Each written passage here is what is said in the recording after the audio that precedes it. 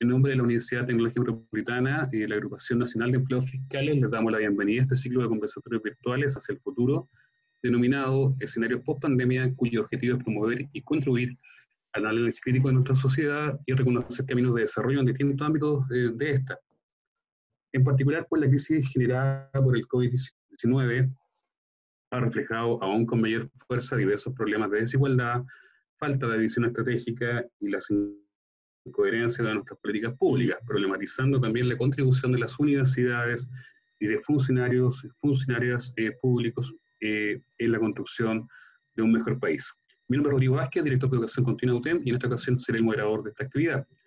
Saludamos a los y las asistentes, en particular a las asociaciones y a la comunidad, y por supuesto a todos para quienes se encuentran conectados por Zoom, les solicitamos tener sus micrófonos apagados e idealmente las cámaras encendidas, pudiendo realizar preguntas por el chat. Hoy nos reunimos para hablar de educación, en base a las siguientes preguntas orientadoras. ¿Cómo evaluamos al sector de educación en la crisis? ¿Cómo podemos mejorar las prácticas educativas hacia el futuro? ¿Qué rol cumple y podría cumplir la tecnología? ¿Qué contribución pueden hacer los trabajadores y trabajadoras, las universidades en este contexto? Cuáles son los dilemas y desafíos para el ejercicio docente. Para abordar este análisis iremos presentando a los expositores y expositoras, quienes dispondrán de 15 minutos para sus presentaciones, tal cual al finalizar dejaremos un espacio para plantearles las preguntas que ustedes quieran dejar en el chat. No obstante, antes de iniciar las presentaciones, ¿cierto?, de quienes nos van a acompañar, queremos, eh, en primer lugar, eh, recibir a, a, a los expositores, ¿cierto?, a Mario Aguilar, que es presidente del Colegio de Profesores, ya vamos a hacer una mayor eh, presentación de él, a Mabel Zúñiga, que eh, es dirigente de, Andime, y a Mario Torres, que es vicerrector de Transferencia Tecnológica y Extensión de la UTEM. Ya vamos, ya vamos a presentar a cada uno y a cada una de, ellos, ¿no?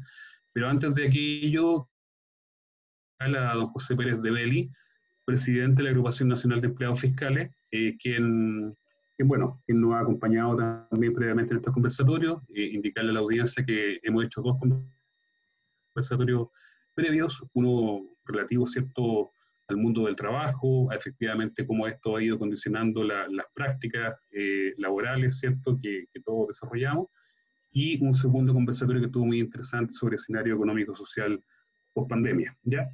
Eh, José, presidente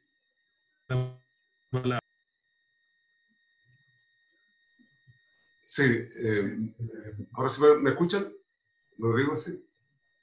Muchas gracias. Se escucha muy bien. Oye, sí, bueno, saludar a Rodrigo Vázquez ahí, nuevamente, como dije al inicio, antes de partir formalmente, un, un agrado y un honor también como ANEF estar participando en esta vinculación con la academia, con ustedes, particularmente con la UTEN y saludar también al vicerrector de transferencia tecnológica, Mario Torres, como siempre ahí muy alerta y conectado con estas demandas y de vista estas nuevas experiencias telemáticas que, nos, que enfrentamos los seres humanos en esta pandemia.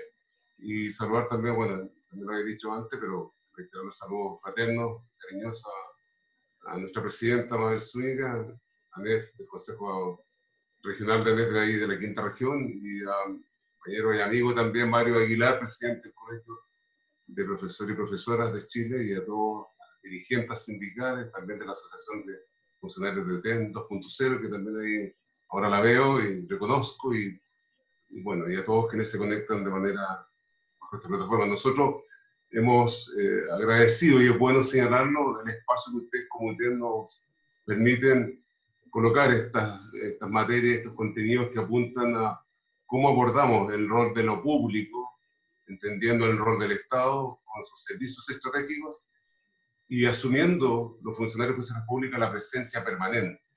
En distintas modalidades lo hemos estado reforzando con mucha energía y fuerza, que estamos trabajando, estamos en sistemas de turno, de, manera presencial, atendiendo usuarios y usuarias, la ciudadanía, y por supuesto también hay un grupo importante de compañeros y compañeras que están de manera remota con su, en su domicilio.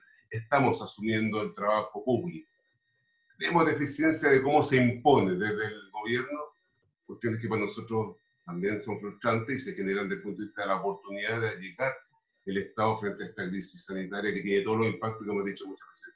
Yo en este saludo esa gratitud, reconocimiento a UTEN porque ha puesto y dispuesto en las plataformas de acercar también, y ya lo vemos, ahí hay una compañera de la República de Panamá, ¿cierto? que se vincula como también en el territorio de nuestro país, permite también eh, tener esta cercanía telemática, pero importante también eh, vincularlo a este primer agradecimiento. Y segundo, bueno, creo que lo que nos convoca es el eje también importante en el rol público, la educación tenemos que recuperarla para que no se produzca esta situación de discriminación que hoy día está instalada y que mejor que escuchar a ambos profesores, porque también Mabel es profesora, es una ventaja importante, eh, desde la experiencia sindical, desde el territorio, nosotros incluido y hemos defendido también la importancia, no es lo mismo Santiago en Arica Parinacota como en Valparaíso y en las zonas de eh, australes también en nuestro país. Y qué mejor también aprovechar de fortalecer este espacio y agradecer a Mario Aguilar, nuestro compañero amigo que hemos compartido desde el año pasado muchos momentos, muchos días y tras noches, lo mismo que Mabel, en la situación que después del 18 de octubre nos, dispusimos para replantearnos este nuevo Chile con este proceso constituyente que creemos que se debe construir con las organizaciones sociales y sindicales, no solamente con la élite. Y ahí estamos también haciendo fuerza con Mario, con Mabel, con mi compañera, y creo que hoy día la educación debe ser una constante de nuestra defensa y promoción de una educación distinta para esa nueva constitución que esperamos que mejor que el profesorado, ¿cierto? Sean los que puedan tener ahí una voz y, por supuesto, el puño de escribir el, la futura, para futuras generaciones también esta oportunidad que se nos presenta en una nueva constitución. Yo, eh, en nombre del director de la NEF, eh, Rodrigo, vicerrector Mario, eh, gracias por este espacio, gracias por esta complicidad que hemos generado, esta simbiosis que nos ha servido a nosotros vincularnos con la academia, con nuestro quehacer y trabajo sindical, y por supuesto abrir el espacio eh, con este ejercicio de educación continua que ustedes también suscriben y que nosotros lo hemos incorporado también en la autoformación sindical. Así que felices eh, de nuevamente de poder saludarlo y, y, agradecer a los panelistas que van a estar aquí ilustrándonos y mostrando el trabajo que siguen realizando incluso en pandemia. Así que muchas gracias, estimado estimado, y un gran abrazo cariñoso y fraterno de la NEF. Gracias, Rodrigo. Gracias, Mario. Muchas gracias eh, a usted, presidente de NEF. Eh, sin duda, un, hoy día un actor muy importante eh, liderando la Agrupación Nacional de Empleos Fiscales. Y bueno, damos paso justamente a los expositores, dándole la bienvenida a don Mario Aguilar, presidente del Colegio de Profesores, profesor de Educación Física de la Universidad de Chile, magíster en Educación de la misma casa de estudio. Como anteriormente explicamos, cada expositor va a contar con 15 minutos eh, para mm, comentarnos su, su, impresión sobre la temática hoy en discusión. Eh, em, durante las intervenciones, en general, todos y todas pueden dejar sus comentarios o observaciones en el chat y al finalizar vamos a hacer un, un, un y una etapa, ¿cierto?, tanto de preguntas, eh, análisis, sugerencias, de lectura de, sus intervenciones. Eh, don Mario, eh, bienvenido. le entregamos la palabra de forma tal de, poder recoger sus impresiones. Gracias, Rodrigo. Muy buenas tardes a todas y todos. saludo a las autoridades de la universidad que están presentes y a bueno, y a todos los asistentes y las asistentes académicos, funcionarios públicos, profesores, profesoras, y bueno, todo el mundo que, todas las personas que se han interesado en poder conversar este tema, que me parece extremadamente importante. Eh, agradezco las palabras de, del amigo José Pérez de Beli, con quien, como él señalaba, nos ha tocado mucho, mucho trabajo conjunto en, todo este periodo, así que nos hemos ido conociendo y respetando y valorando. Así es que mm, también felicitar a la Universidad Tecnológica Metropolitana, una universidad pública, una universidad, ¿no es cierto?, con la que, con la que hay eh, el compromiso por, por, educar desde, desde, una visión de lo público, desde la educación como una misión, como una misión, no simplemente como una industria o como un producto de consumo, como, como se ha definido tan brutalmente en, en, estos últimos años. El rescate de la educación pública en todos los niveles como el eje de lo que debe ser el desarrollo educativo de un país. Y con este concepto me voy adentrando en el tema que, que me han pedido poder eh, reflexionar con ustedes. El, eh, el tema no es solo pandemia. La pandemia llegó y se instaló en nuestro país, pero, pero nos pilló en un momento en que, en que en el país, ¿no es cierto?, vivíamos el, el llamado estallido social. A mí me gusta hablar del despertar de Chile, que se produjo a partir de, octubre, y tal vez previamente. Previamente habían habido varios indicadores de que, de que algo ya se estaba fraguando en la sociedad chilena. Nosotros tuvimos un largo paro de 51 días en el año 2019, eh, donde Muchos nos dijeron cuando nos embarcamos en esa movilización que, era una locura, con un gobierno de derecha, era imposible, que, esta gente tenía, tenía tal, tal nivel de poder que, íbamos simplemente a, una dura derrota, etc. Bueno, nuestras asambleas y nuestras bases decidieron que, debíamos ir a esa movilización y, mostró muchos síntomas de, un cambio en la sociedad chilena mostró síntomas por de pronto, el enorme apoyo ciudadano que tuvimos, mucho. Tuvimos momentos realmente emocionantes en nuestra movilización en términos de, del cariño de la gente en las calles. Recuerdo una marcha a Valparaíso que ingresamos desde la carretera y la gente salía desde los cerros a recibirnos, a entregarnos comida porque era la mañana temprano, a darnos desayuno, un café, a, salir con sus banderas, una cosa realmente muy, muy emocionante pero que más allá de, tomarlo como, como, como, una vanagloriar a nuestro gremio, yo diría que iba mostrando los síntomas de que, de que en la sociedad chilena algo estaba cambiando. El malestar con una élite arrogante, prepotente, una élite que se, que se sintió durante tanto tiempo dueña del país, donde nosotros teníamos que ser sus empleados y ellos determinar y ordenar, donde se arreglaban entre ellos, fue generando un cuadro de mucho malestar, que ya tuvo síntomas con nuestra movilización, sobre todo por el apoyo, insisto en ese concepto, eh, en la identificación que la gente tuvo con nuestra causa. Recuerdo que durante el paro nuestro una senadora se mandó una de esas joyitas de declaraciones que hace esta gente cuando dijo, por ejemplo, eh, que cualquier patipelado se permite criticarnos en las redes sociales, ¿no es cierto? ¿Se acuerdan ustedes? Y nosotros tomamos esa identidad y la hicimos nuestra, somos los patipelados, y la gente se sentía muy identificada con eso. Profe, yo también soy patipelado, me decían en la calle o nos decían en las marchas. Profe, aquí estamos los patipelados con ustedes. Generó mucha identidad, mucha identidad.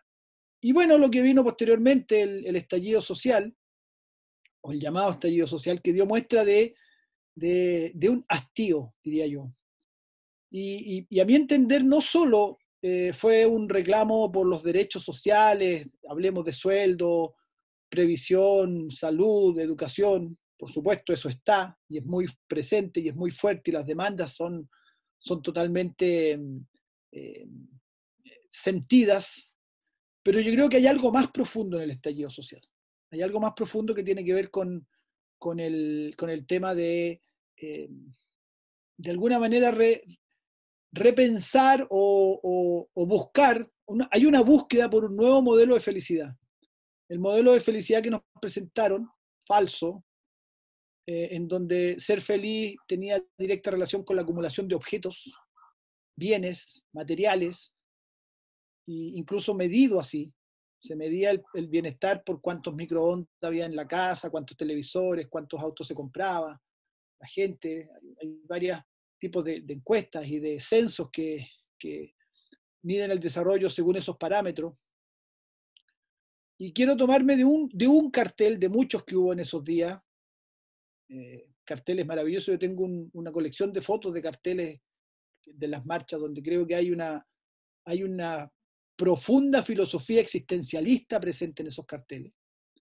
Y uno extraordinario que lo encontré yo era, no era depresión, era capitalismo.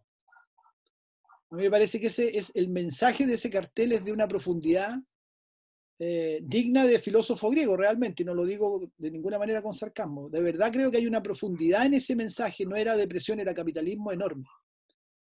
Un país donde, donde en cada cuadra hay más farmacias que librerías, por ejemplo, nos dice que algo no está bien. ¿A dónde voy con todo esto? Voy a que la pandemia nos pilla en ese contexto. Y lo que hace la pandemia es dos cosas. Por un lado, evidenciarnos, en educación esto ha sido muy, muy, muy eh, crudo, cómo nos ha evidenciado las profundas desigualdades reclamadas, cómo se, se, salieron más a flote todavía las profundas desigualdades que, que, en esta sociedad se reclaman, lo injusto de esas desigualdades, lo, lo grosero de esas desigualdades, y que se ha visto ahora, por ejemplo, con el tema de la conectividad a Internet, familias que no tienen conectividad, sencillamente no tienen, y, quedan fuera de, lo que la emergencia educativa ha permitido trabajar como, como procesos educativos. Pero por otro lado, yo creo que la, pandemia también nos ha puesto en contacto con lo eh, verdaderamente importante. Porque una pregunta que yo he hecho en algún otro conversatorio, en algún seminario por ahí, es preguntar hacer la reflexión de qué hemos extrañado, qué cosechamos de menos del hecho de estar en cuarentena, estar confinados, estar sin poder desarrollar nuestra vida normal. ¿Qué echas de menos? Yo, hago esa pregunta como para reflexionar. ¿qué, ¿Qué es lo que más he sentido? Yo puedo decir lo que yo he sentido como pérdida.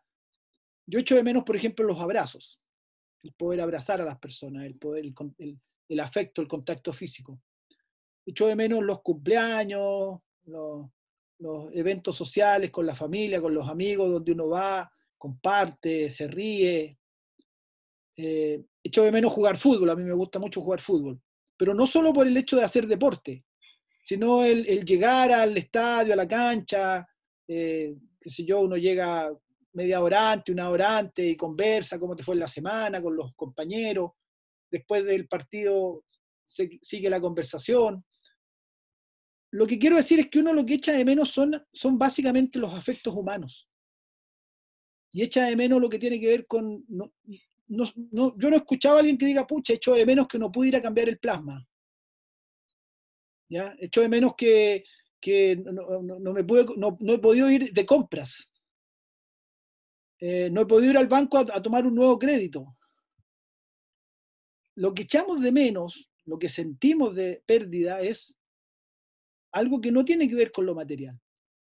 Entonces, uno se pregunta si en una emergencia, y nos pasa también con los terremotos, y nos pasa también las situaciones fuertes, en donde se nos pone enfrente lo que es realmente importante, se nos hace muy presente lo realmente importante, y queda como muy secundario todo aquello que está presentado por este modelo como lo que nos tiene que hacer felices.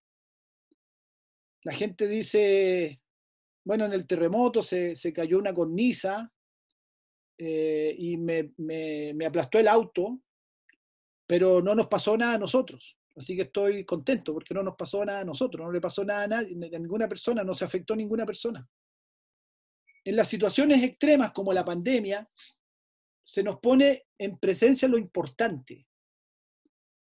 Y, y lo importante no es lo material, no son las cosas no es lo que consumo.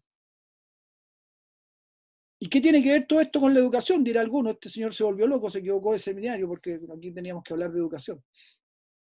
Bueno, la pregunta que nos tendríamos que hacer entonces es que, ¿a qué se ha dedicado la educación en las últimas décadas? Esta educación productivista, esta educación eficientista, esta educación que busca resultados, esta educación que busca competir, esta educación del exitismo, de la excelencia, esta educación eh, de, competencia, esta educación ranking, semáforos, categorizaciones en desempeños, todo para, para, ir en busca de ese modelo de felicidad, ese modelo de felicidad que ya estaba cuestionado en octubre, lo que vino después, en donde bueno, yo estuve, supongo que muchos acá con Pepe estuvimos en el, el, 25 de octubre ahí en esa marcha gigantesca, el millón y medio, que seguramente muchos de ustedes estuvieron y los que no son de Santiago habrán estado en sus ciudades.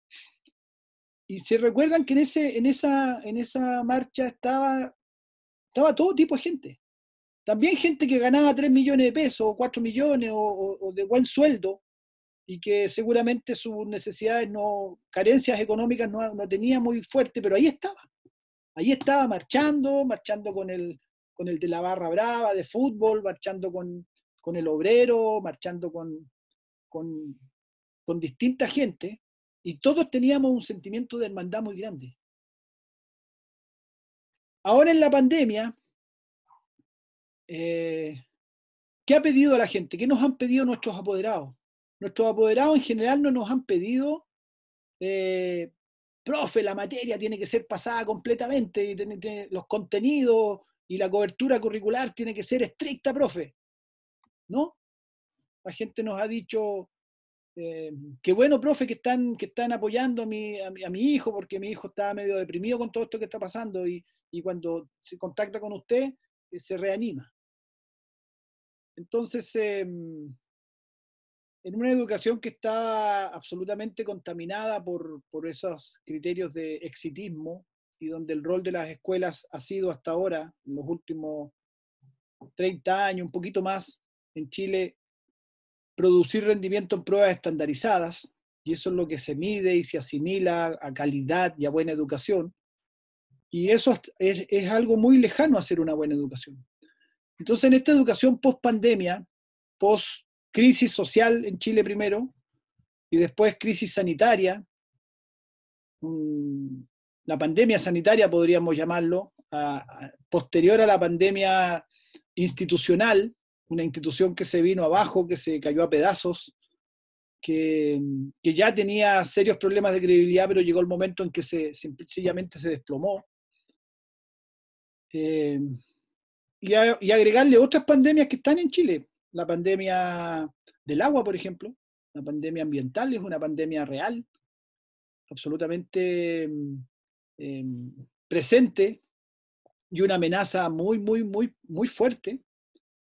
La, la pandemia económica que se viene ahora, que ya está, la pandemia social.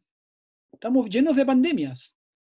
Y eso podría sonar por un lado muy amenazante, y, por supuesto bastante inquietante, porque que nos genera todos los problemas que eso puede traer, por cierto, y genera problemas reales, concretos, que hay que, urgencias, pero también, y aunque suene medio cliché esto de que toda crisis es una oportunidad, se repite tanto que al final ya casi se convierte en una frase cliché, pero, pero es real también que es una oportunidad de, de tener que repensar todo. Y de obviamente eh, abordar esta emergencia con criterios que a lo mejor son otros. Entonces, ¿qué le vamos a pedir a la educación post pandemia? Le vamos a pedir que vuelva a hacer lo mismo que hacía antes, que vuelva a la obsesión por el SIMS en el caso de la educación escolar, que vuelva a la obsesión por las publicaciones, las acreditaciones y todas esas cosas en las que están metidas las instituciones de educación superior, toda esa locura eh, por, entrar en el ranking de, universidades. Eh, vamos a volver a, esta, a este productivismo donde hay que rendir, rendir, rendir, producir, producir, producir como si fuéramos máquinas como única manera de ver la vida. Vamos a seguir persiguiendo el estatus económico como el único gran logro de, éxito, de triunfo, de realización. Cállate tú, pelotudo. No tenéis nada más importante que hacer que andar molestando. Da la cara, cobarde. Da la cara. A ver, da la cara, pues cobarde, a ver si te atreves.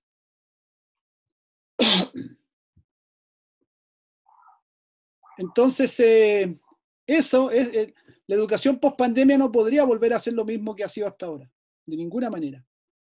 La educación post pandemia necesariamente nos tiene que llevar a, a, nuevas, a un nuevo paradigma. Ese es nuestro planteamiento.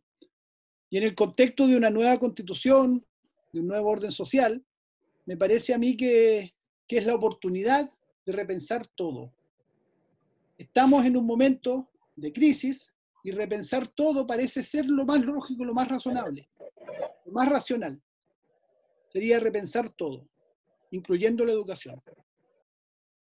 Bueno, me parece que estoy bastante pasado en los 15 minutos, entiendo que hay un tiempo. Sí, sí, pero bueno. Eh, para posteriores reflexiones en, las preguntas o algo más que podríamos agregar. Sí, bueno, le pedimos la disculpa a Mario porque obviamente su tiempo se ve afectado y, y también la, la, continuidad, ¿no? Eh, pero bueno, de igual forma, al, finalizar, don Mario va a tener un espacio también para poder redondear eh, ideas y, posturas. en ese marco, eh, ahora queremos, queremos recibir a, a doña Mabel Zúñiga, en Valencia. Mabel es profesora de educación general básica, convención en ciencias sociales de la Pontificia Universidad Católica del Paraíso Además es magíster en gestión de políticas nacionales, mención educación y cultura de la UPLA. Eh, Mabel además es dirigente nacional de Andime, eh, de, la Asociación de Funcionarios del, Ministerio de Educación, y presidenta del Consejo Regional Valparaíso de NEF.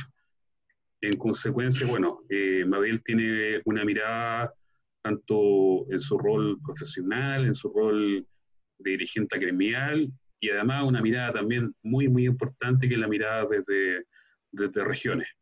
Eh, así que le damos la bienvenida a Mabel y bueno, le invitamos a ser parte de este, de, este conversatorio.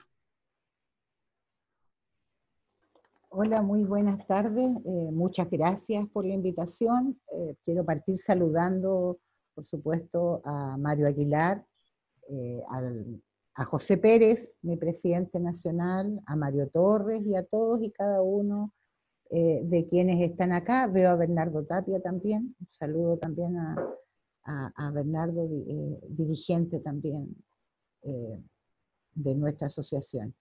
La verdad es que, claro, y muchas gracias a la UTEM por esta, esta alianza estratégica que me parece tan necesaria que, que se desarrolle entre la academia, las trabajadoras, los trabajadores y el sector público. Eh, creo que son alianzas tremendamente necesarias e importantes que debemos desarrollar e impulsar a lo largo de todo el país cuando empezamos a, asumir el rol de la universidad desde una mirada universal, ¿verdad? Eh, universalizar nuestro, nuestro rol, empezamos a, vincularnos también y provocar esta, estas alianzas que sin duda van, van construyendo pensamiento crítico, reflexivo y capacidad de propuesta para, para poder avanzar en las tremendas, tremendos desafíos de futuro que tenemos. Yo quiero partir diciendo, eh, a propósito de lo que acaba de ocurrir, y que, bueno, comparto claramente lo señalado con, por Mario, eh, pero a propósito de lo que acaba de ocurrir y que nos está ocurriendo en todas partes, porque creo que em, estamos enfrentando un minuto de tensión en, nuestro país y, también en el planeta. Eh, la, tensión tiene que ver también con la toma de posición eh, en términos de la capacidad del pensamiento, de la ideología. Yo creo que hoy día estamos enfrentando, y desde el 18 de octubre se ha hecho más evidente, ¿verdad? pero hace muchos años que se viene tensionando al conjunto del sistema y de las sociedades respecto de estas distintas miradas que tenemos unos y otros, los que tienen el poder, ¿verdad? Y los que estamos eh, subyugados a ese poder y que de alguna manera nos hemos ido revelando. Y, quiero decir esto porque eh, particularmente en mi asociación, que es Andime, la Asociación de Funcionarios del Ministerio de Educación, nosotros venimos hace muchos, muchos, muchísimos años, otros antes eh, que yo fuera dirigente, el expresidente nacional de la NEF, eh, Raúl de la Puente en tiempos de dictadura, dirigente de Antime, planteándose temas respecto a lo que se veía que se iba a empezar a producir en educación cuando parte el proceso de municipalización de la educación, cuando se, establecen estas lógicas ¿verdad? de financiamiento universitario eh, que hacen competir a las universidades unas con otras, en fin. Y, y posteriormente respecto de la LOCE, nosotros fuimos tenaces opositores a la forma en que se definió finalmente la Ley General de Universidades, porque, eh, perdón, la Ley General de Educación, porque allí eh, se discutió respecto de un cambio que fue de forma, pero no de fondo, eh, porque no se tocó en ninguna parte los elementos centrales que tenían que ver con la calidad educativa y con el financiamiento de la educación, y muy por el contrario, se crean nuevos entes como son la Superintendencia de Educación o la Agencia de Calidad, ¿verdad? Que ponen y ratifican dos elementos que a nuestro juicio eran tremendamente nocivos eh, para la educación chilena y que tenían que ver con las lógicas de financiamiento eh, al sistema escolar por asistencia, ¿verdad?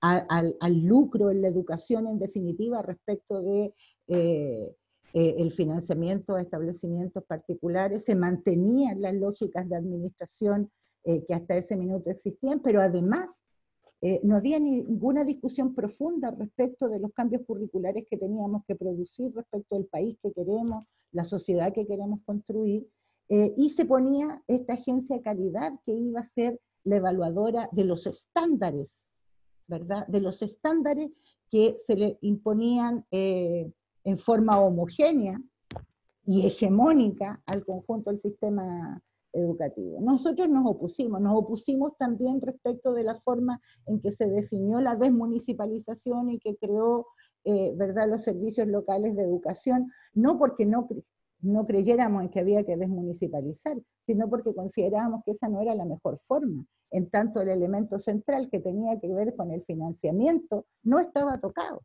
Eh, no se hacía eh, mención respecto de ese elemento que era central para poder generar mayor equidad.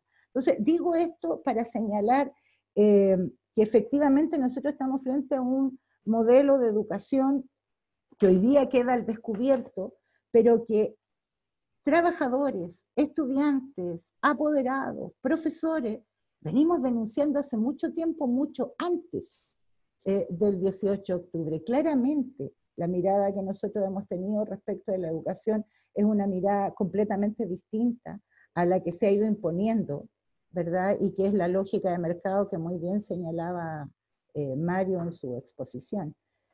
Eh, hoy día nos enfrentamos a una situación aún más compleja, porque efectivamente, eh, y que tiene de, de, dulce y de agraz como todo en la educación, ¿no? y como, como todo en la vida, porque, porque por un lado queda absolutamente de manifiesta la profunda desigualdad e inequidad que tanto en nuestro país como también en el continente eh, existen en materia de educación, pero también queda absolutamente de manifiesto quiénes son y quiénes somos los importantes en materia educativa.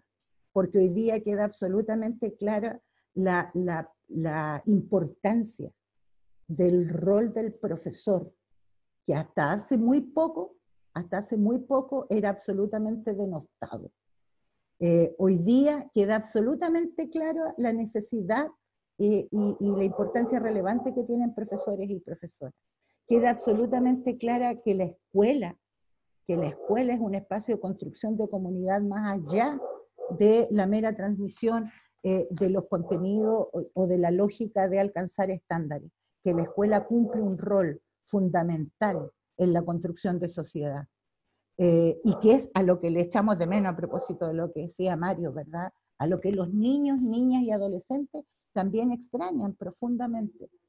Entonces, eh, pero también vemos que esta desigualdad, esta forma además hegemónica, eh, monolítica, en que se han ido tomando las medidas que, respecto de cómo se aborde la temática en educación dentro del contexto de pandemia, eh, no dan cuenta de una realidad. Es como que si estuviésemos, yo lo contaba eh, eh, antes, antes de salir al aire, lo comentábamos, saliendo de reunión con el subsecretario de Educación, es, como que, es como que estuviéramos hablando de dos mundos distintos, como que estuviéramos en mundos paralelos. O sea, por un lado hay una preocupación excesiva de que los niños retornen a clases porque hay una preocupación excesiva respecto del resultado y no del proceso.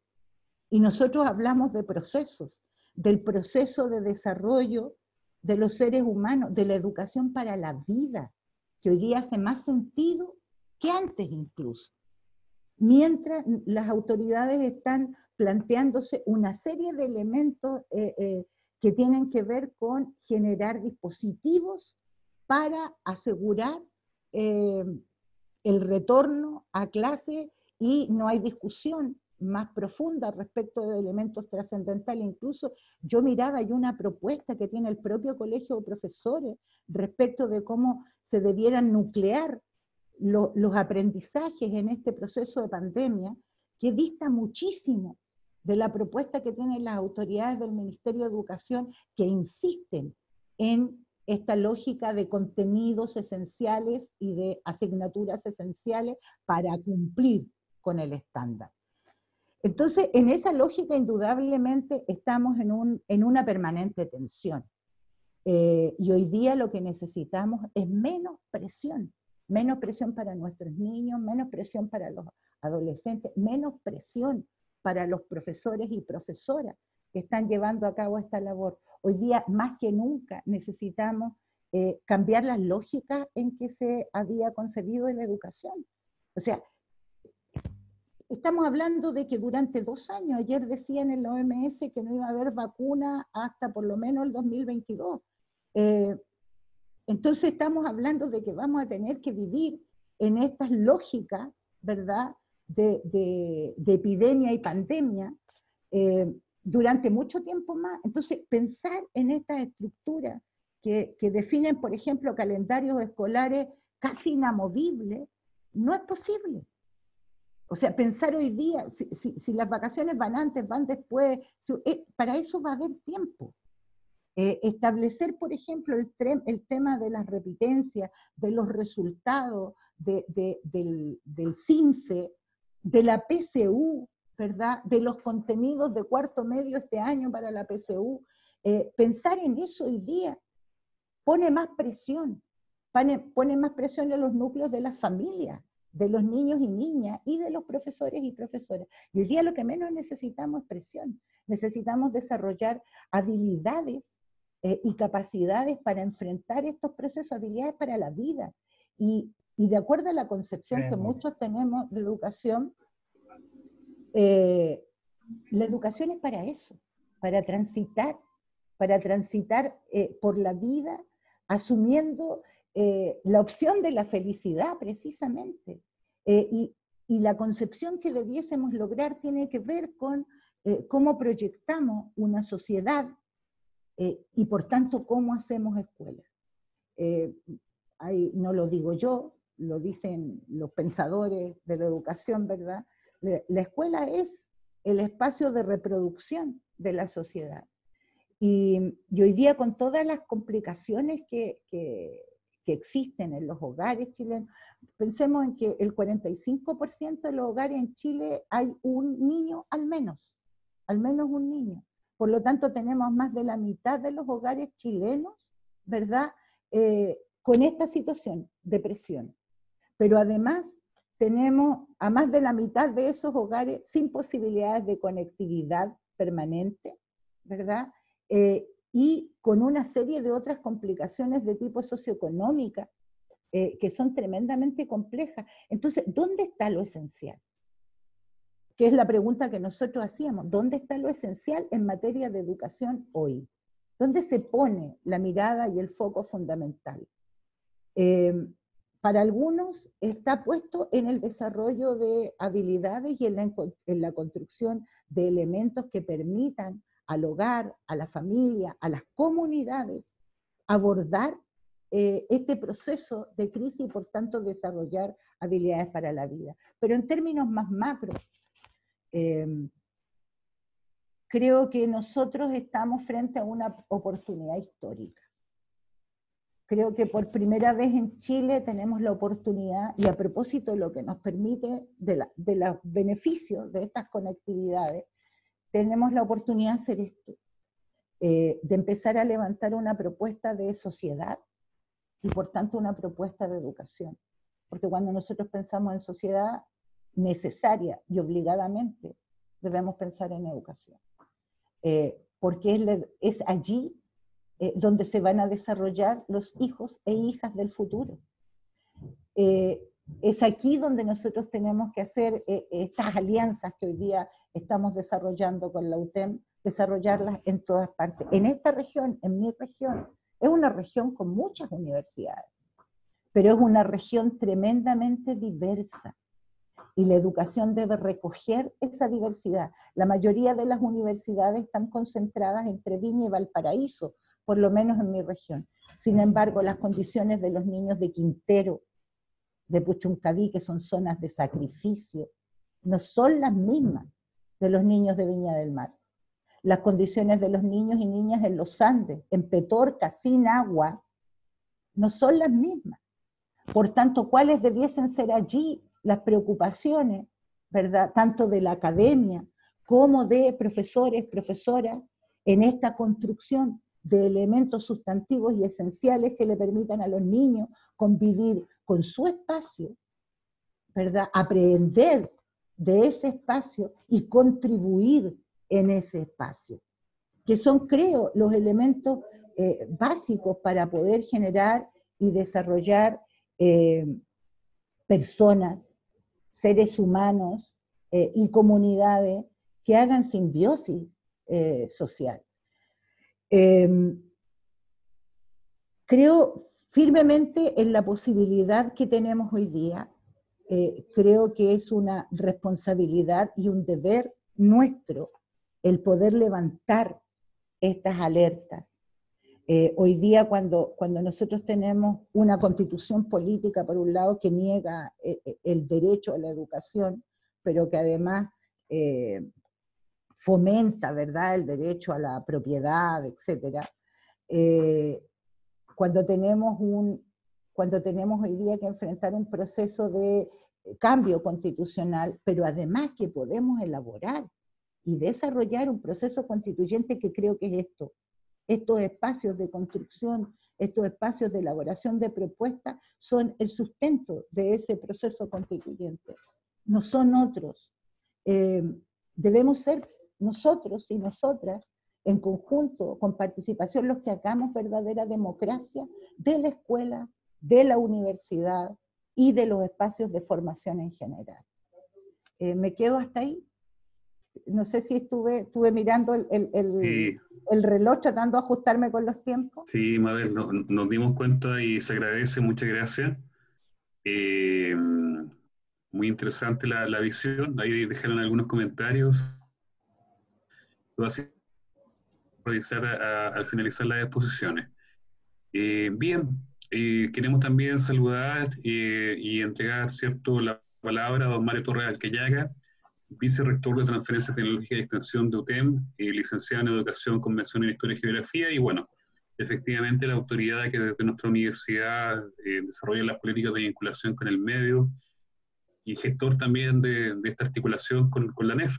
Así que damos la, bienvenida a Mario, eh, agradecerle la presencia y, bueno, entregarle la palabra. Mario, por favor. Bueno, muchas gracias, buenas tardes a todos y a, todas. Y te pido, Rodrigo, que por favor seas riguroso y, me cortes a los 15 minutos, porque no soy tan disciplinado como Mabel. Pierda cuidado, jefe, lo voy a hacer. bueno, rápidamente, eh, primero eh, saludar a José José Pérez, eh, nuestro socio en esta, en esta aventura, en esta nueva forma de, generar política, y de eso estamos hablando, de, generar política, de politizar la educación, politizar nuestro, nuestro proceso. Saludos a José y a la NEF. ¿ya?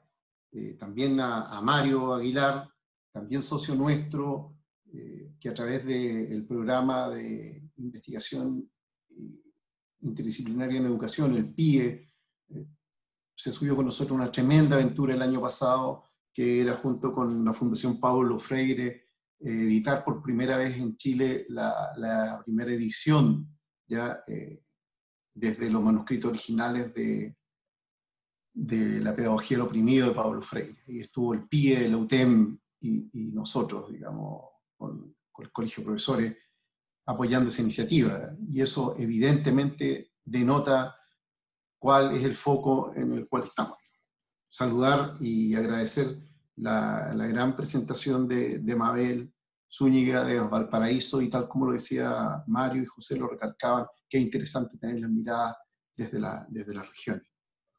Saludo también a, a Mariela de nuestra Asociación de Funcionarios, al equipo de la Dirección de Capacitación y me voy a permitir un gusto a saludar a Gabriel Cuadra, que, que, lo vi que está entre, entre los funcionarios, entre el, el público. Gabriel compañero, entrañable compañero de la universidad en los años 80 en La Serena. Ya nos encontramos en todos estos quehaceres, a veces los días sábados, en estos reencuentros después de 40 años, y nos vemos qué viejos estamos, Decía, decía Mario en algún minuto, al cual también le aprovecho a pedir las disculpas por, por esto, pero nadie ha dicho que, que esto iba a ser fácil, digamos, que, que es muy, esta, esta intervención, este, estos ciberataques que tenemos, pero es porque en la práctica Chile despertó, pero despertó para soñar. Parece una contradicción, pero cuando uno está letargado, eh, no sueña. Entonces, eh, el despertar de Chile es, para soñar. Y también, Mario, también me refiero a él cuando decía, mira, siempre las crisis son una oportunidad. Sí, siempre y cuando salgamos de, de, esta desesperanza aprendida, ¿no? Creo que este es el minuto, también lo planteaba Mabel, de pensar un mundo mejor, que claramente, eh, junto con todos los impactos negativos que nos trae esta pandemia, ha creado condiciones propicias para que entre todos impulsemos transformaciones y avanzar hacia un mundo más justo y más sostenible. Hoy el futuro corto y mediano se ve oscuro, se ve oscuro, no, no, podemos decir que no, desempleo, pobreza elevada, crecimiento negativo, crecimiento económico, vulnerabilidad social, vulnerabilidad sanitaria, gobiernos frágiles, estados débiles, eso es muy, muy, muy complejo.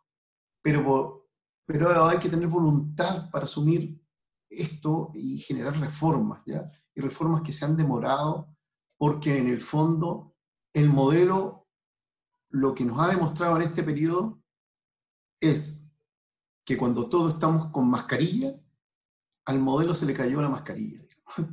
Ha mostrado sus grandes fallas. Todos, todos, la crisis en educación, la crisis económica, la crisis en salud, son todas distintas caras de la misma moneda. Y la moneda es capitalismo. Y ahí hay un tema que necesariamente hay que modificar la organización de vida y hacer reformas urgentes, ya que han sido postergadas y que evidentemente hoy es necesario a través del cambio social, el cambio económico y el cambio tecnológico. Ahora, este cambio va a depender del nivel de conciencia de la sociedad y del liderazgo político. Es la única forma en que podemos salir de la desesperanza de no seguir haciendo exactamente lo mismo. Hoy estamos reconstruyendo y, generando espacios nuevos. ¿Qué es eso? Nuevos que son viejos espacios. Es decir, estamos releyendo qué es el poder. Y decimos que el poder se conquista. Estamos todos dispuestos en eso pero también entendemos, tal como lo, expresaba Mabel hace un minuto, el poder es una construcción social. Y estos espacios de conversación son eso, juntarnos con el colegio de profesores, juntarnos con ANEF, tener la posibilidad de expandir lo que estamos conversando a nivel de las regiones, ocupando la tecnología, es una forma de construir poder. ¿Cuáles son las amenazas que hoy tenemos para este desanclaje social? Uno, y también lo mencionaba Mario, el cambio climático. Hoy es uno de los mayores retos y aparentemente en un principio de los tiempos, digamos marzo, abril, como que había desaparecido. Sin embargo, pandemia y cambio climático se, se retroalimentan. Y la pandemia lo que ha generado también un sentido de amenaza inmediata de la vida y puso nuevamente el tema medioambiental en el primer lugar. Un segundo punto claro en esto es el aumento de la desigualdad. La pandemia en función de lo económico nacional y mundial socavó más profundamente aún los sistemas económicos de los países y de las familias pobres. Es decir, creció el desempleo, no es que va a crecer, es creció el desempleo, se redujeron los, los ingresos familiares y evidentemente se pierde capital productivo. Y eso además con un elemento que estaba fuera de, estaba en el análisis, pero no en la profundidad, es decir, la brecha digital elevó la desigualdad. Y ahí a todo, a todo el mundo, em, esencialmente a los empleados del, Estado, digamos, los trabajadores manuales o los que desempeñan labores de servicios que van a ser automatizables, eh, van a tener algunos problemas, digamos. Y los niños que no poseen computadores, ni conexión, ni formación digital, claramente van a quedar atrás. Es decir, eh, Mario habló de algunas cifras de, de, esta brecha digital y cómo se han abordado en los distintos niveles, y eso es claramente diferencias de clase.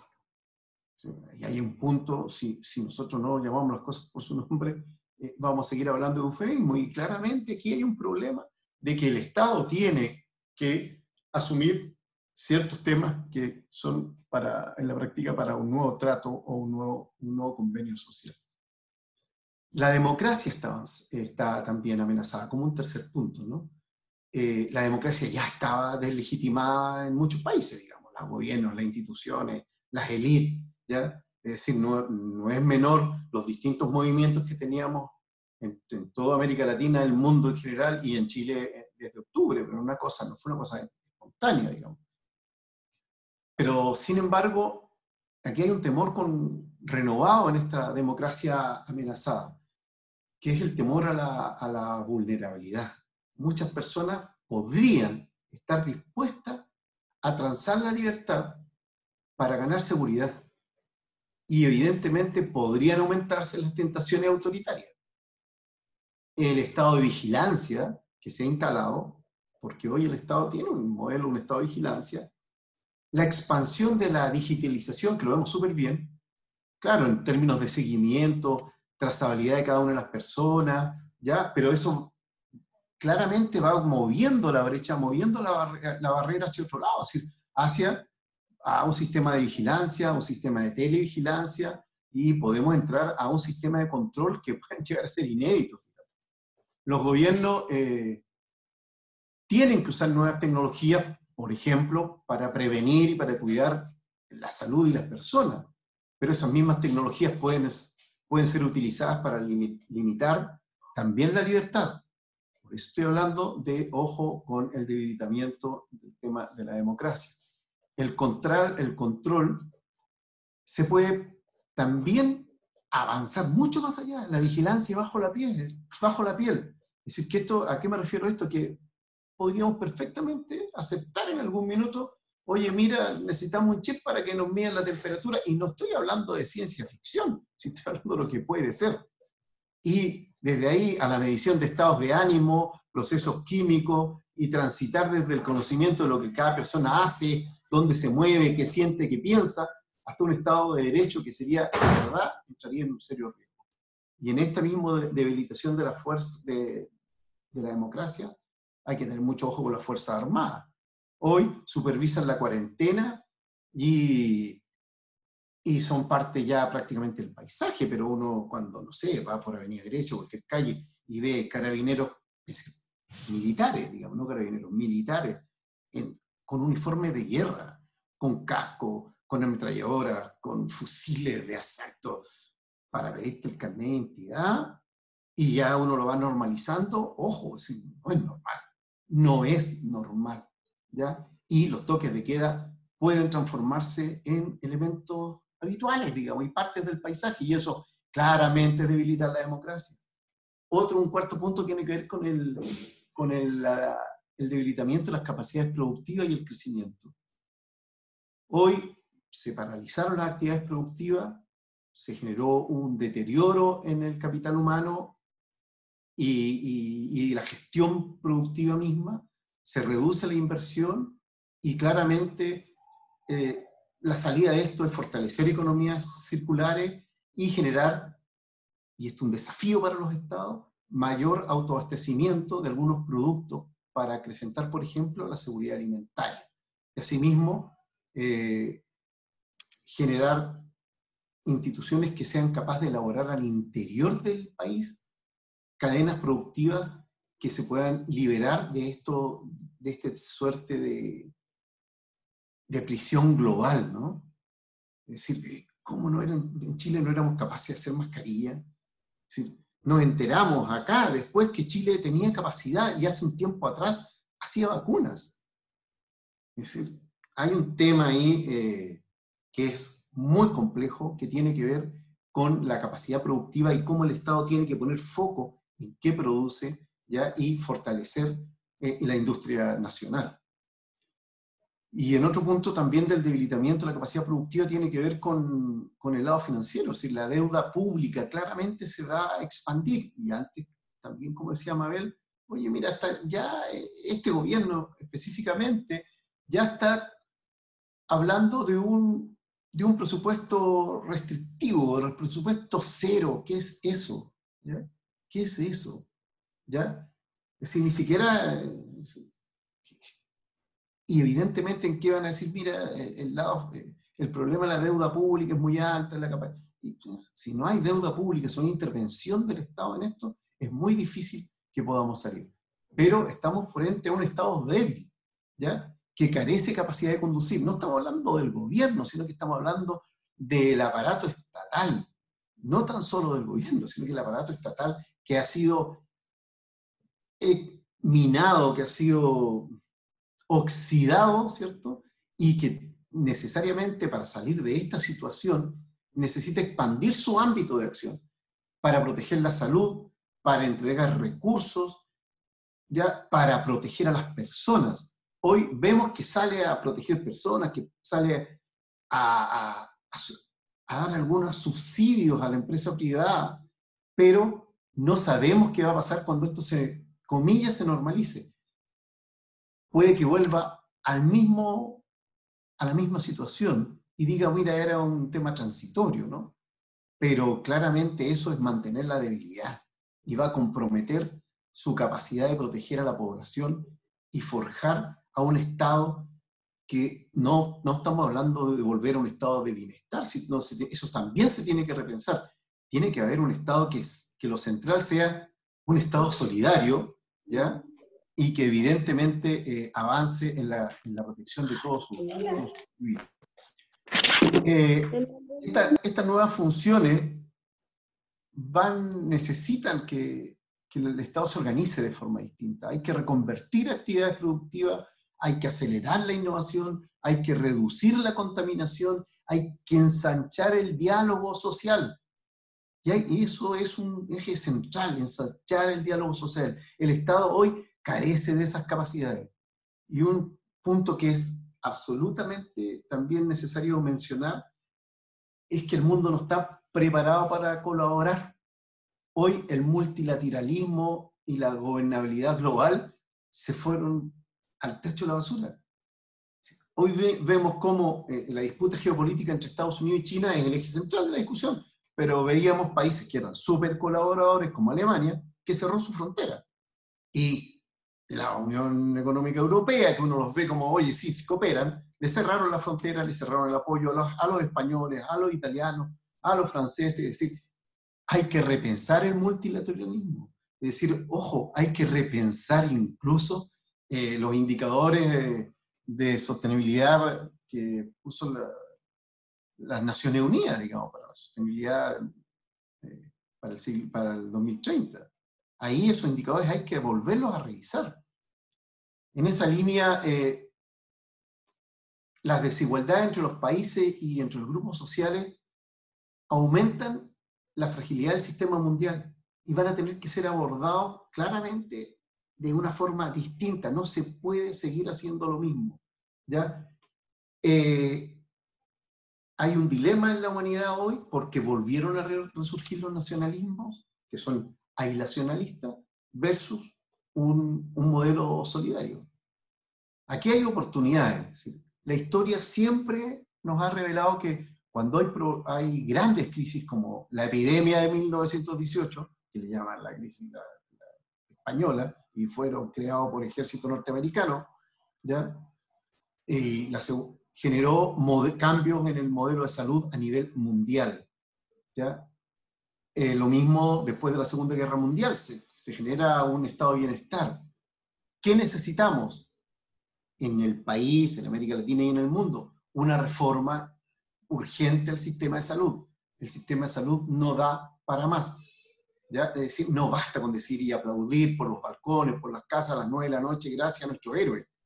Es decir, basta de héroes, hay que tener un modelo que resista esta y próximos, próximas crisis, próximas pandemias.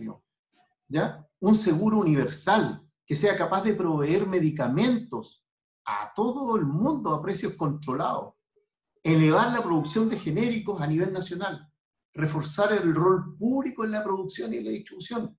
Es decir, todos conversamos cuándo llegará la vacuna. ¿Cuándo llegará la vacuna? Y, la segunda pregunta, ¿y a qué precio va a llegar?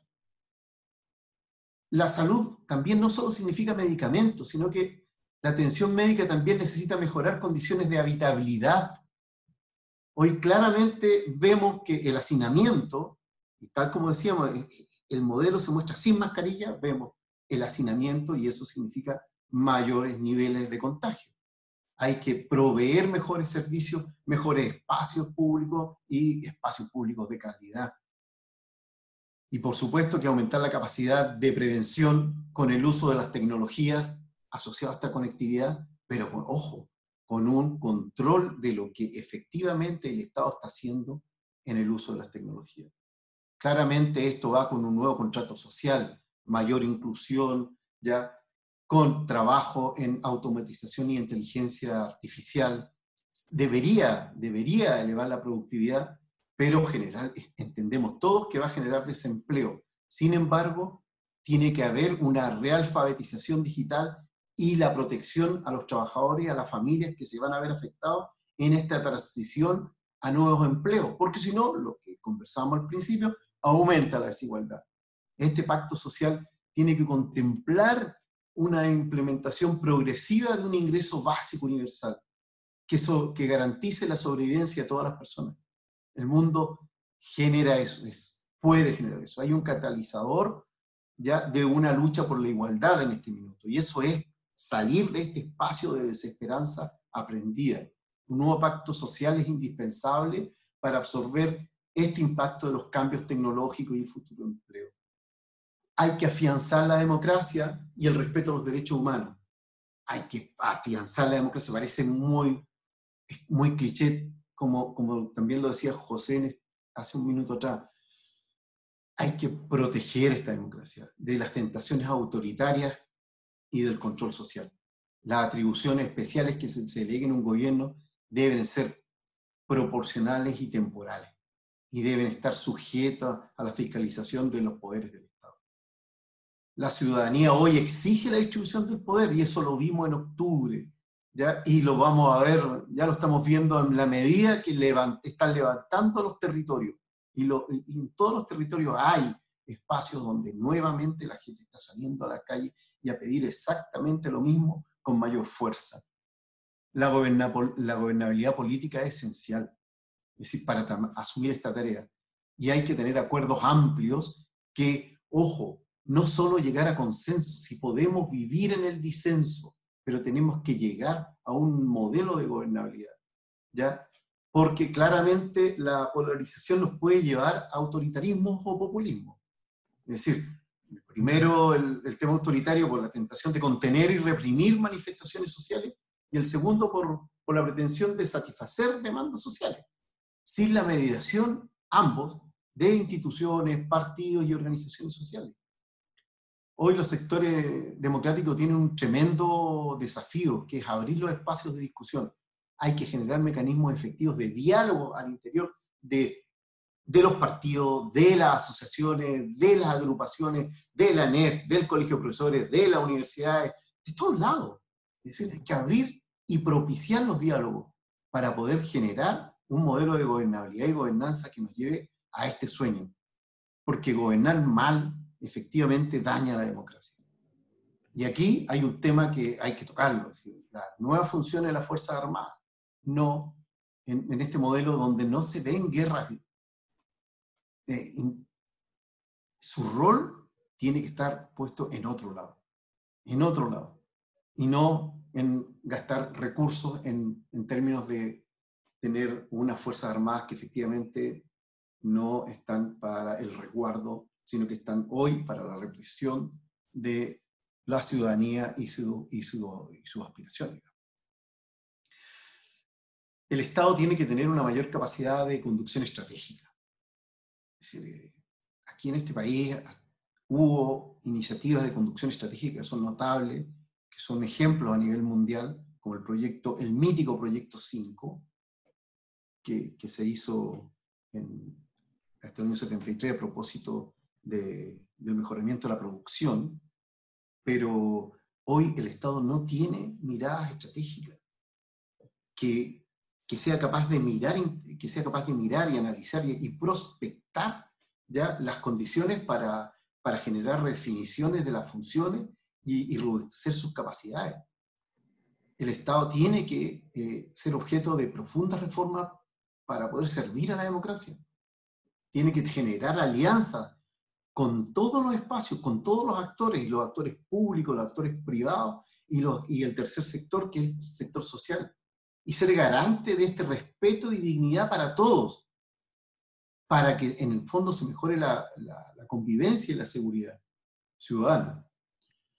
Generar nuevas, nuevas bases productivas, generar coordinaciones intragubernamentales. Es decir, y Chile tiene dos desafíos tremendos acá.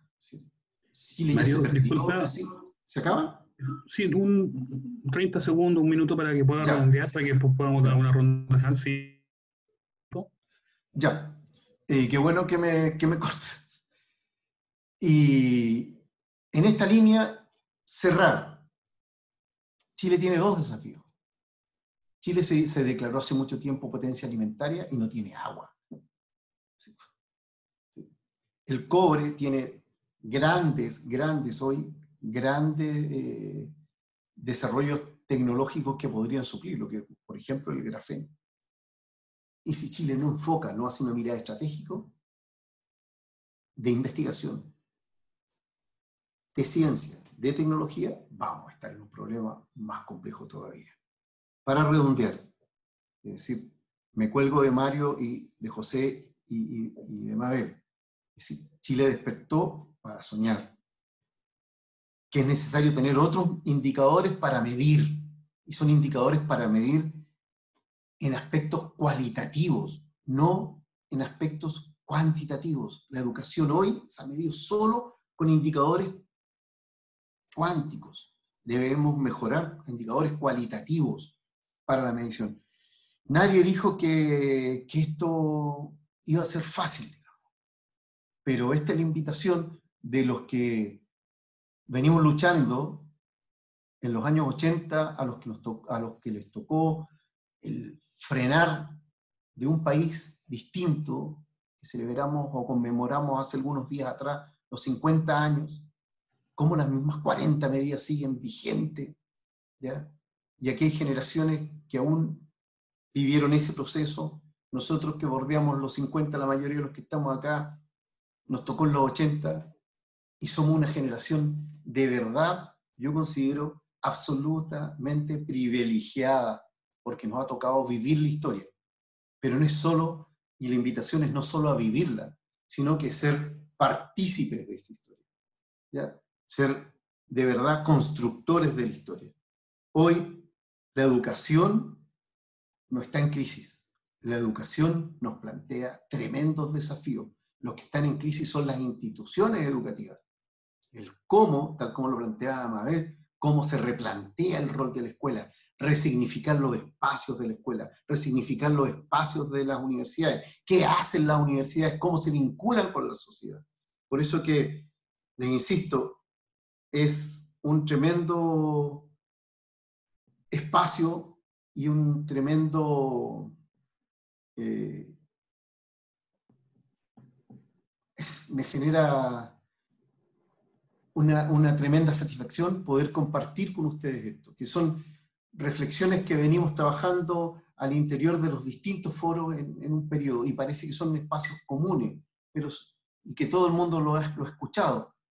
Pero, ojo, seamos capaces de sistematizar y construir, ¿cierto?, entre todos un discurso que sea capaz de aglutinar a toda la sociedad, a toda la sociedad en su conjunto, para poder salir de este modelo que efectivamente nos muestra distintas caras, pero en la misma moneda. Y evidentemente la única forma de salir es cambiando definitivamente el modelo. Muchas gracias. ¿eh? Muchas gracias a ti, Mario. Eh, bueno, sin duda agradecerle a, los tres expositores que, que, me han acompañado, ¿cierto? Eh, de las opiniones que fueron dejando en el chat, bueno, básicamente Marisol que nos comentó por qué lo, se debe cumplir con los estándares y no con nuestros niños, es decir, la discusión entre los sujetos y los procesos. Ahí hay un, ahí hay un tema, ¿no? y también con la de, vida real y adecuada para efecto de que poder impulsar esta nueva fase. Antes de, ir al cierre, bueno, obviamente le damos a la palabra a los tres expositores, eh, le volvemos a pedir la disculpa a don Mario, efectivamente Aguilar, por la interrupción que se dio justo en su bloque. Esto sucede justamente cuando uno hace las cosas como las estamos haciendo, ¿no? Con nuestros nombres, con nuestras caras, con nuestro discurso y efectivamente, bueno. Y, y también uno puede hacer la analogía con las marchas, ¿no? efectivamente acá tuvimos que tener una primera línea cibernética para proteger la asamblea. Así que, bueno, eh, eh, le entregamos la palabra, ¿cierto?, a, los tres expositores, ¿cierto? Tal vez un saludo final también de don José Pérez. y también colocar de realidad un poco lo que se viene, ¿no? Tiene que ver además con, con todo el proceso de, constituyente, que también es, un tema, eh, y tal vez por ahí nos puedan dejar un, par de, de titulares, ¿no? de cómo vinculamos educación con nueva constitución, solamente los titulares en función del tiempo, eh, entonces le, damos eh, un par de minutos a cada uno, por favor. ¿En qué orden? En el mismo orden, don Mario. Parto usted, eh, usted por favor. Bueno, me parece que han sido reflexiones tremendamente profundas, escuchando a Mabel y a Mario mi tocayo. Eh, creo que, es claro que hoy día estamos en un tiempo constituyente, no en el sentido solo formal de, una nueva constitución, un nuevo orden jurídico. Estamos, estamos en un momento donde deliberamos eh, permanentemente, y eso es muy bueno, un país que está hoy día eh, muy politizado en el buen sentido del término, en el correcto sentido del término, que estamos preocupados de lo, de la polis, de la ciudad, de lo que no es común. Y es, por cierto, eh, un momento en que, en que necesitamos exigir que efectivamente este momento constituyente sea generado desde la ciudadanía. Nosotros seguimos reclamando asamblea constituyente, que es un concepto distinto a convención constitucional, que es la que está ofreciendo la clase política. Y esa asamblea constituyente significa un espacio soberano, un espacio autónomo, un espacio donde no venga precocinado su modo de funcionar y resolver, sino que sea efectivamente un espacio donde la ciudadanía, a través de sus representantes elegidos por la misma ciudadanía, con mandato, con mandato, esto es muy importante, no cada uno a, señalar lo que le parezca, sino que traiga un mandato de, aquella instancia en la cual representa, eh, se pudiera generar una nueva constitución en Chile. Y en educación eso es absolutamente indispensable, absolutamente indispensable. En educación hay que desactivar todas las normas que están con rango constitucional que eh, de alguna manera encapsulan a la educación, la, la acorralan dentro del concepto de educación neoliberal, de mercado, la educación como un bien económico, una educación de, claro sesgo economicista, contaminado absolutamente por conceptos que, que no le son propios que provienen del management, del mundo, del mundo de la producción, del mundo empresarial, una serie de conceptos que hoy día están absolutamente incorporados en educación, tienen que salir porque no son, no tienen que ver con la pedagogía, no tienen que ver con el, con el hecho de educar, no tienen que ver con esta interrelación entre personas que se da en el acto educativo. La educación es un hecho social, no un hecho económico. Y por lo tanto, esa concepción de educación que está en la constitución de, hecha en dictadura y, y ayornada en gobiernos, comillas, democráticos, em, tiene que ser, eh, tiene que ser eh, desarticulada, esa concepción educacional que tanto daño ha hecho. Así que hay tarea, hay tarea que no es solo ir a votar, hay tarea que consiste en, deliberar, en empujar un proceso de, de deliberación que se dé en los barrios, los territorios, las escuelas, las universidades, en todos lados, y que esa deliberación ejerza una presión muy fuerte sobre la élite para que ésta facilite las cosas. Ojalá las facilite la élite. Si las facilita, esto puede salir muy, muy fluido porque la gente está con muchas ganas de participar y de decidir. Si no lo facilita la élite, entonces habrá conflicto, lamentablemente. Eso es lo que uno puede prever. Ojalá, ojalá esto tenga un cauce como debe ser, un cauce democrático, un cauce sin violencia, pero eso depende mucho más de la élite que del pueblo. Es la élite la que tiene que abrir los cauces para que esto se canalice y se canalice a través de una asamblea constituyente. En esa asamblea constituyente tenemos que construir las bases de una nueva educación. Y por eso es tan importante participar muy activamente. Yendo a votar en octubre, sí, pero no solo yendo a votar, es también involucrarse en la deliberación. Si los ciudadanos y ciudadanas nos involucramos activamente en la deliberación, va a ser posible levantar este nuevo país que queremos. Eso, gracias. Muchas gracias, Mario. Eh, Mabel, eh, por favor, ¿sí? Sí. Eh, bueno, reiterar las gracias, los agradecimientos por la, por la invitación, por acordarse de las regiones, que me parece tremendamente importante, un elemento central en las discusiones que vienen el poder entender lo diverso que es nuestro país, que son nuestras culturas. Eh, no hay una sola cultura. Eh, aquí cohabitan en este territorio muchas culturas. Eh, valorar la diversidad como parte esencial en ese proceso de construcción. a propósito de algunos comentarios que también leía en el chat, yo quiero decir que eh, yo creo que sí hay que hacer política, de que sí debemos retomar el camino de la política, eh, de pensar políticamente, y eso significa tener eh, desarrollar pensamiento, que no es lo mismo que buscar lógicas hegemónicas, ¿verdad? que no es lo mismo que hacerse carrera de la política o vivir de la política. Eh, hacer política en función de contribuir, de aportar, eh, de esperanzar, ¿verdad? Y, de soñar.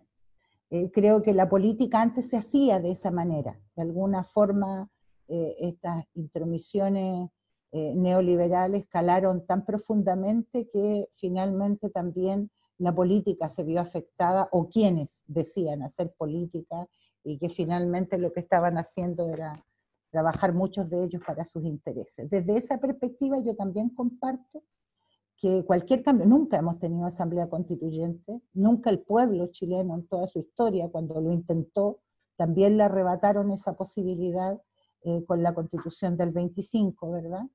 Eh, nunca el pueblo chileno ha sido artífice, promotor y eh, protagonista fundamental de la redacción de una constitución política que en el fondo establece los elementos centrales por los cuales nosotros como ciudadanos y ciudadanas vamos a transitar. Eh, y creo que no nos podemos perder esta oportunidad.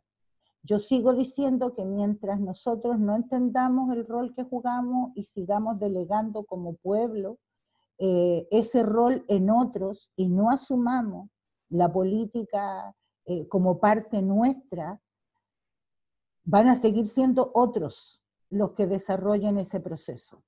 Va a, ser, eh, una elección más para un cambio constitucional. Depende de nosotros y de nosotras que este efectivamente sea un proceso constituyente. Y eso significa afianzar estructuras relaciones, alianzas, desarrollar cabildaje, eh, levantar propuestas, porque no es solo lo que no queremos, sino cómo lo queremos y tenemos que ponernos de acuerdo. A veces estamos súper de acuerdo en lo que no queremos, pero nos cuesta muchísimo ponernos de acuerdo en lo que queremos. Debemos aprender a hacer eso. Y lo debemos hacer con otros y con otras porque ninguno de nosotros y nosotros es dueño de la verdad. Los niños, niñas y adolescentes tienen mucho que decir.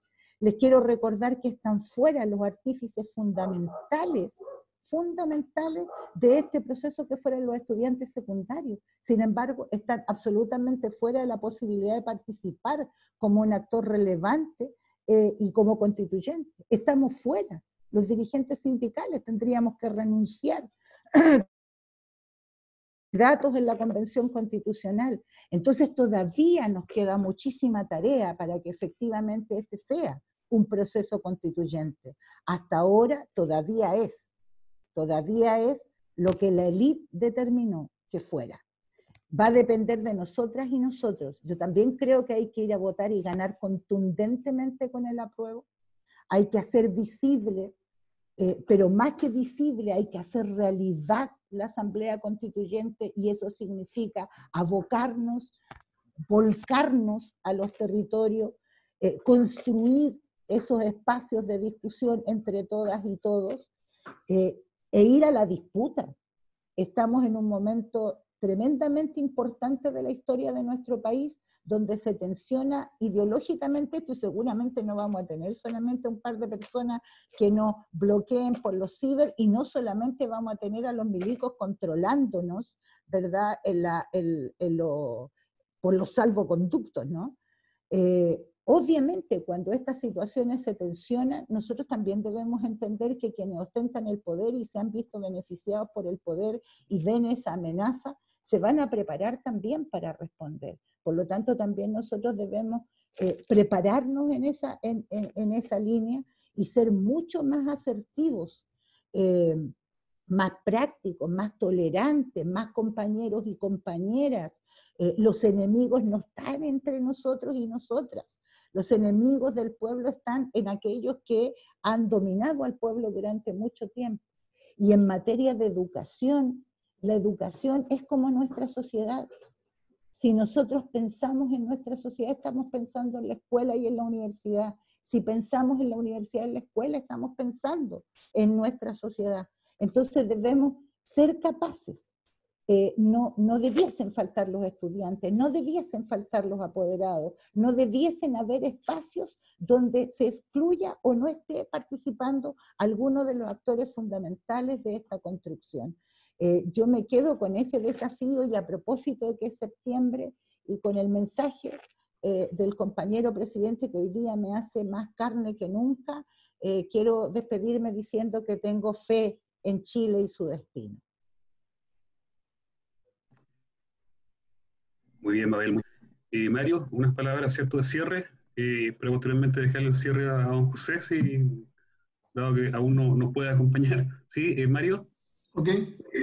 Bueno, yo como, como vicerrector de transferencia tecnológica y vinculación con el medio de la Universidad Tecnológica Metropolitana, vuelvo efectivamente a reiterar las gracias, José, las disculpas por no tener la primera línea, que fue muy, acertado eso, Rodrigo, a, a, Mario, a Mabel, pero aquí hay, una, aquí hay una experiencia en este mismo ejercicio. Esto de no tener la primera línea. ¿ya? No estamos, ¿ya? Entender que, que, ojo, no hay nada que sea político. La política existe. Cuidado cuando alguien no, yo soy político, cuidado, porque eso, ser apolítico es una posición política. Acá, ¿qué nos demuestra? Que esto es construcción de poder. Esto surge porque en estos espacios tecnológicos se ha generado democratización, y cuando nosotros nos apoderamos de los espacios tecnológicos, eh, tenemos capacidad de poder conversar, por ejemplo, con Mabel que está en una región, o con alguien que está en Coyhaique, o con Gabriel que está en La Serena. Tenemos posibilidades de reencontrarnos. Con José nos habíamos visto un par de veces. En este espacio tecnológico nos hemos visto, no sé, cinco, cuatro. En distintos espacios, con distintos grupos de interés. ¿Para qué decir con Mario? nuestro amigo común Dante Castillo, hemos almorzado juntos, hicimos, cambiamos el mundo en lo físico, pero en lo virtual hemos avanzado un montón con, con el Colegio Profesor y lo ¿Ya? Entonces, la apropiación de estos espacios. ¿Por qué digo la apropiación? Porque o si no se los dejamos a otros. Y se los dejamos a otros para que lo llenen de la tontera, ¿no? Y evidentemente tenemos que llenarlo con contenido. Y, y aquí vale, mm, igual que en algunos periodos anteriores, aquí vale más que nunca con toda la fuerza de la historia. Aquí vale con toda la fuerza de la historia. Tenemos el destino en nuestras manos y tenemos que ser responsables de nuestras acciones.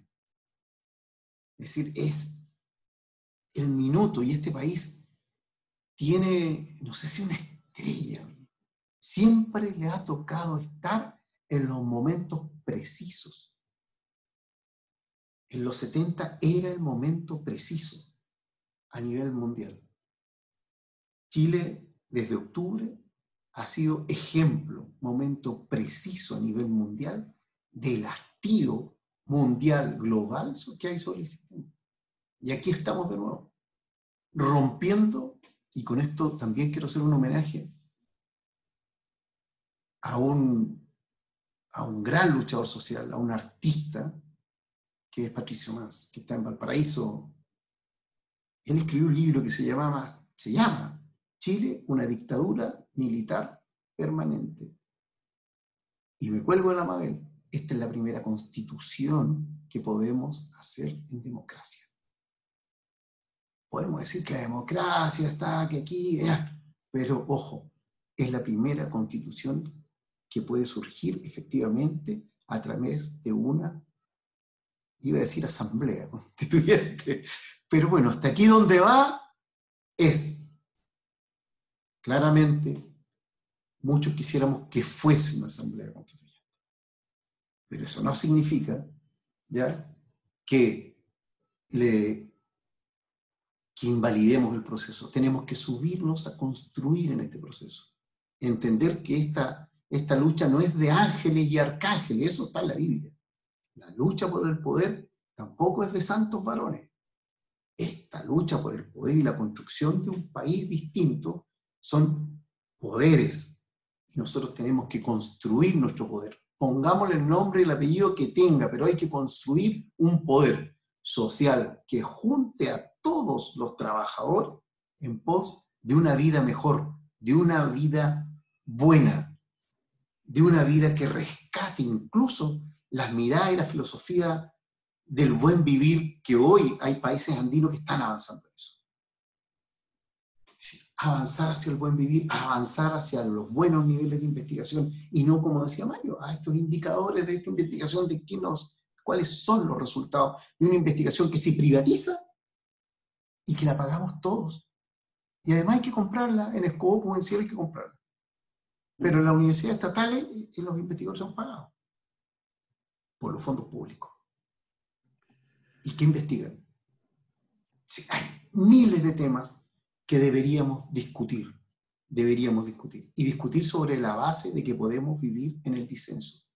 Por eso que yo de verdad, agradecido del espacio, agradecido de conocer a, a Mabel, de ver a otros, agradecido del chat y, de reencontrarme con los amigos, con, Mario, con, con, José, y también reconocer el, el esfuerzo que hace la Dirección de, Capacitación de la Universidad Tecnológica Metropolitana, una universidad estatal.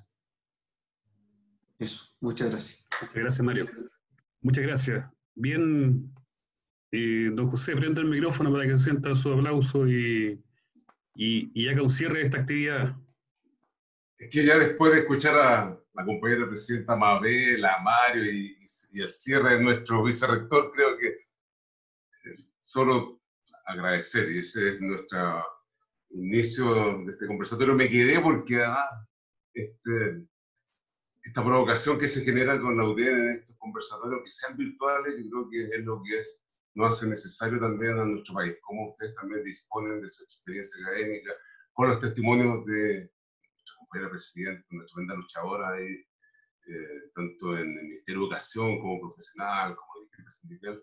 Yo creo que, y Mario Aguilar, pues, lo, lo he conocido desde el año pasado, yo diría, muy bien en su calidad humana, su compromiso social y su perseverancia, que es una locomotora cuando se, se, inyecta ahí rápidamente su Mira, nosotros felices en este espacio, agradecido, Mario Torres, estimado, efectivamente nos encontramos. Tu, tu análisis profundo no hace mucho sentido en, el rol del Estado que nosotros también eh, queremos, eh, no ahora, sino que desde antes hemos estado impulsando un nuevo Estado que tenga, eh, que hoy día presente esta lucha permanente, donde hay una conducta que acentúa la desigualdad. El gobierno se, se ha ocupado de aquello, incluso ha profundizado esta ausencia de democracia social, que muy bien se explicaba Mabel y Mario, y tú también. Entonces, por eso que nosotros eh, creemos en esta convicción profunda eh, y reconocemos también que hay una fórmula del diseño en su construcción de relato, este modelo neoliberal, y también tiene un respaldo, y no hay que serse, cierto, que no se conoce de los altos poderes políticos empresariales en nuestro país. Y, y esa concepción nos marca, nos marca en relación también a cómo esta sociedad eh, no importa la desigualdad mientras se asegura los réditos al capital como ocurrió con los fondos de transferencia directa desde el Estado a los grandes consorcios empresariales. Esta figura del FOGAPE que se utilizó cuando las pequeñas y verdaderas eh, recursos del Estado deberían ocupar los pequeños eh, emprendimientos y empresas pequeñas para dinamizar la economía, se orienta en ese aspecto a grandes consorcios. Entonces, eh, y ahí lo que aparece también es obtener el máximo provecho del trabajo de hombres y mujeres. Y ahí no se hace cargo incluso de lo que hemos dicho muchas veces, y de rato usted lo menciona, este porcentaje altísimo que el trabajo informal en el sector privado, que de la fuerza laboral un tercio está ahí en condiciones precarias en el empleo. Y también nosotros en el Estado, porque tenemos condiciones de horarios, contrata todavía en este siglo. Y bueno, y este modelo avanza de manera muy rápida, eh, sin considerar aquellos aspectos básicos de la democracia moderna. Por eso que el diálogo sindical, social, eh, para nosotros es relevante. Y es lo que se nos presenta como una oposición permanente, que aparece en las prácticas sindicales, incluso eh, de clausura, de pocos diálogos sociales que cuesta forzar a esta contraparte natural. Por eso que también nosotros felices, y, pero comprometidos en lo que se viene. nosotros como ANEF tenemos también una declaración por escrito, nosotros Asamblea eh, nueva constitución, asamblea constituyente, y eso fue ratificado hace más de 20 años, 2013 fue eh, reafirmado con nuestra confederación. Bueno, hoy día también este proceso que se genera y a veces se invisibiliza, gracias a esa gran huelga general del 12 de noviembre, tensionó, obligó a la élite política, ¿cierto?, empresarial a darse cuenta que había una fuerza que estaba, y es el poder que ustedes mencionan, que está ahí, ¿cierto?, exigiendo estas transformaciones con los chiquillos que usaron ese torniquete, ¿cierto? El 18 de octubre en la tarde. Entonces, todo esto tiene una, para nosotros una importancia y, la ocupación también de que este mercado que nos agobia, implacable, donde los derechos sociales se transan como, mercancía. Además, para el caso nuestro, se mete esta figura de recortes presupuestarios abusivos que pretende inmovilizar al final el rol del Estado, a disminuir sus ingresos, cortando los programas sociales eh, y proyectando incluso lo que hemos dicho nosotros públicamente, este famoso metodología empresarial, presupuesto base cero, el 2021. Entonces, eh, ahí también en el relato se esconde eh, la intención de jibarizar aún más el Estado y dejando, por supuesto, a nuestros compañeros y compañeras que representamos, que trabajamos en el sector público para el Estado de Chile, en la incertidumbre. Entonces hay que estar muy alerta frente a eso también y, golpea también lo que se implica esa incertidumbre en lo concreto es perder el, la pega, sufrir despidos arbitrarios. Y además asociado a esta duda sobre la disponibilidad de los fondos necesarios para cumplir esa función social para, las, para la gran mayoría de nuestro país. Por eso que nosotros tenemos la convicción y lo hemos declarado y lo seguiremos declarando ahora y siempre, porque eso es parte de nuestro legado jóvenes, que está con los trabajadores y trabajadoras públicas, con el pueblo de Chile y por supuesto va a defender su derecho y con este sindicalismo sociopolítico también sostenemos este imperativo que es la construcción que deseamos en una constitución, pues Estado democrático, moderno, pluricultural, activo, participativo, solidario, y que garantice efectivamente el bien común y posibilitando toda esa estrategia mencionada también Mario, nuestro vicerrector en relación a una política de desarrollo integral que tenga también como foco la calidad de vida de todos y todas los ciudadanos de nuestro país, porque si no, pierde sentido, se naturaliza y no volvemos a reescribir la historia. Creo que ahí tenemos la obligación nosotros de asumir ese liderazgo. Y por eso que impulsamos también el Estado Garante de Derechos Humanos. Y en esta semana y en estos momentos de donde recordamos a quienes han partido, fueron asesinados, violentados y desaparecidos, nosotros también tenemos un sitio de memoria en nuestra NEFA, la entrada de nuestra confederación, un memorial con más de 300 personas, hombres y mujeres, que trabajaron para el Estado de Chile y, fueron, y perdieron la vida por un proyecto, por un ideario, como recordaban ustedes, y son esas 40 medidas, seis de las cuales las primeras tienen relación con la vocación de servicio público. Ya estamos, ese también es el pilar para nosotros, garante los derechos humanos, proteger los derechos del pueblo de Chile y, convertir, y combatir también, junto al aumento social organizado y a todas las estructuras territoriales, la profunda inequidad que nos chasconearon los chiquillos y nos, nos replantearon, ¿cierto?, cómo eh, creamos un nuevo modelo de crecimiento que al final ha sido perverso y de postergación, y que ha convertido en Chile en uno de los países más desiguales eh, del mundo. Y yo creo que en eso tenemos una obligación y por último recordar también, eh, así como Mabel rememorar algunos momentos de la historia nuestra, creo que, bueno, la historia es nuestra y la hacen los pueblos. Muchas gracias por el espacio, por la invitación y saludo a todos y todas, a los que están participando un gran cariño también para Mabel, para Mario Aguilar y para Mario Torres. Muchas gracias. Bien, agradecido, gracias Rodrigo también. Agradecido eh, de la participación de, de, los expositores, ¿cierto? Mario Torres, Mario Aguilar, Mabel Zúñiga, de, de, la asistencia y saludo del presidente de la NET, don José Pérez de Belli, en nombre de la Universidad Tecnológica Metropolitana y la Agrupación Nacional de Empleo Fiscal, le agradecemos a todas y a todos su participación e indicarles que prontamente tendremos habilitado nuestras páginas web institucionales, las grabaciones de las intervenciones eh, y el saludo final, ¿cierto?, eh, de este conversatorio. ¿ah? Ahí eh, haremos la, la, edición que corresponda del, del, episodio, del capítulo en cuestión que ustedes saben, pero va a estar disponible, ¿cierto?, lo fundamental en nuestras páginas web. Así que muchas gracias, encantado de haber estado conduciendo esto y, y bueno, tendremos un próximo conversatorio pronto. Muchas gracias. Hasta luego. Gracias, Rodrigo. Muchas gracias, Rodrigo. Muchas gracias. Nos vemos, Mario. Un gusto, Mabel, conocerte y coincidir. Mario Aguilar, profesor.